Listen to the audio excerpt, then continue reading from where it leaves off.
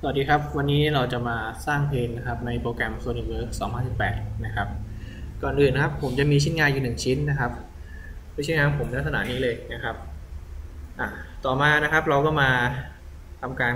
การสร้างเพลงเลยนะครับ ผมมาที่ reference นะครับแล้วเลือกเพลง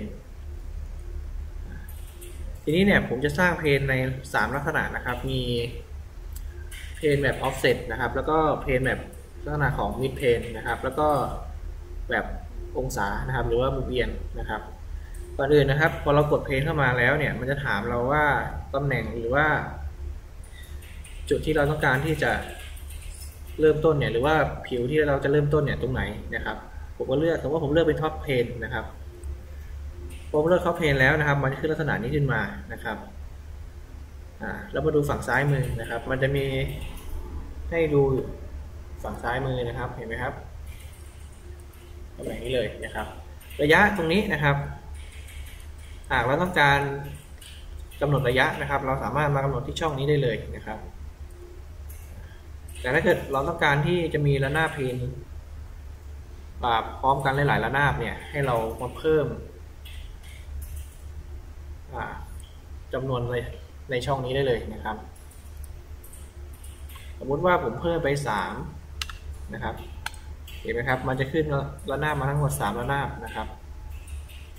กดโอเคนะครับจะได้ระนาบนี้ขึ้นมาต่อมานะครับ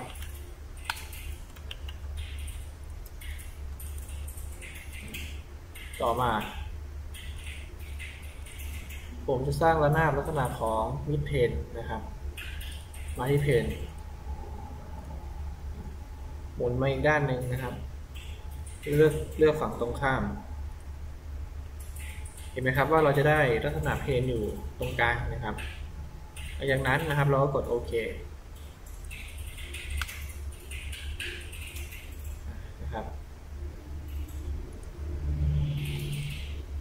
เห็นไหมครับเราจะได้ plane ตรงกลางมันขึ้นมาแล้วนะครับ ต่อมานะครับวิธีที่3นะครับการสร้างแบบ angle นะครับ ผมก็มาเลือก plane เหมือนเดิมนะครับ เลือกหน้าแรกผมว่าผมเลือกเป็น top plane นะครับ โดยที่ผมในต้องการที่ให้ plane ตรงนี้เอียงตรงกึ่งกลางของชิ้นงานนะครับ ผมก็มาเลือกที่เส้นนี้นะครับ เส้นที่ผมสเก็ตขึ้นมานะครับ ต่อมานะครับ ตอนนี้เนี่ยมันอยู่ในลักษณะของการตั้งฉากนะครับ หากเราต้องการให้มันเอียงนะครับ หรือว่ากำหนดความเอียงของมันเองนะครับ ให้เราเลือกแองเกิลตรงนี้นะครับแต่ว่าผมต้องการอยู่ที่ 15 องศานะครับเห็นไหมครับมันก็จะได้ 15 องศานะครับหลังจากนั้นนะครับเราก็กดโอเคนะครับ เป็นไงครับการสร้างเพนต้องสามวิธีนะครับ ทั้งลักษณะขององศามิดเพนนะครับ แล้วก็ลักษณะของการ offset เพนนะครับ ก็ลองเอาไปใช้ดูนะครับผมครับ